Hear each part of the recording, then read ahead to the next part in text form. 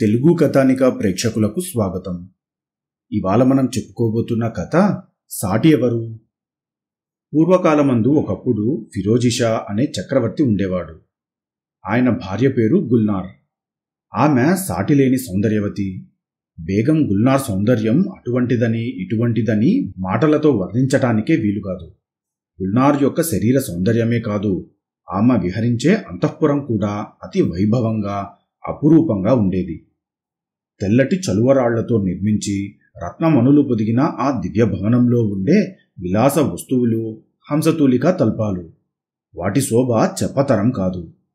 ఇంతటి సంపద వైభవము ఉన్న గుల్నార్కు జీవితంలో తృప్తి లేకపోయింది ఆనందం లేకపోయింది.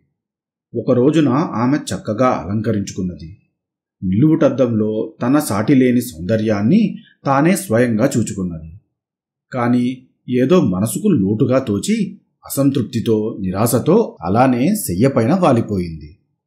కొంచెం సేపటికల్లా షాదుషా లోపలికి చక్కా వచ్చాడు. బేగంను విచారకారణం అడిగాడు.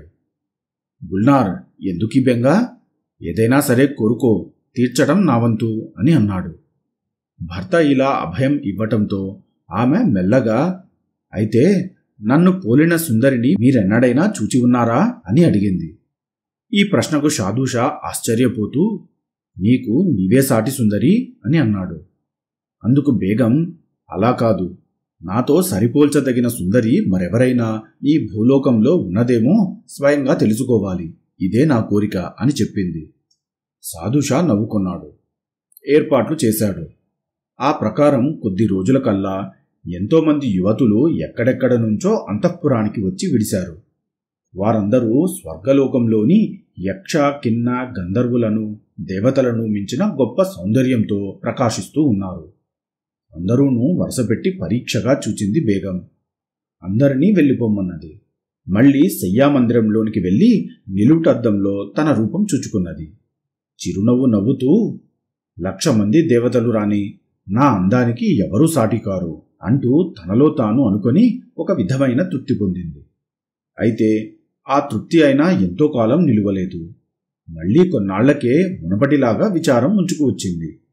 మళ్ళీ భర్తను అంతఃపురంలోనికి పిలిపించుకొని చూడండి నా హృదయం ఇంకా ఏమో కాని అసంతృప్తితో తప్పించిపోతున్నది అని చెప్పింది. ఆమె విచారం తొలగించలేకపోయాడు షాదుషా అంతలో వసంతకాలం వచ్చింది. మొగ్గలు విడిచినాయి వాటి చుట్టూ గండు తుమ్మెదలు జుమ్మని ధ్వని చేయసాగినాయి ఉద్యానవనంలో కోకిలలు బుల్బుల్ పిట్టలు మంగళగానం చేస్తున్నాయి. బేగం గుల్నార్కు ఇటువంటి శుభ సమయమందు స్త్రీ శిశువు కలిగింది. శిశువును బేగం ఎదుట పెట్టారు చెలికత్తలు. ఇప్పుడు మళ్ళీ బేగం భర్తను పిలిచింది. ఇప్పుడు తీరింది నా కోరిక. నాకు సాటైన సుందరి ఈ నాటికి కనిపించింది. నా హృదయం తేలికబడింది. నా అందానికి సాటైనది ఈ లోకంలో ఈ పాప ఒక్కతే అంటూ శిశువుని చేరదీసుకొని తనివి తీరా ముద్దులు పెట్టుకున్నది.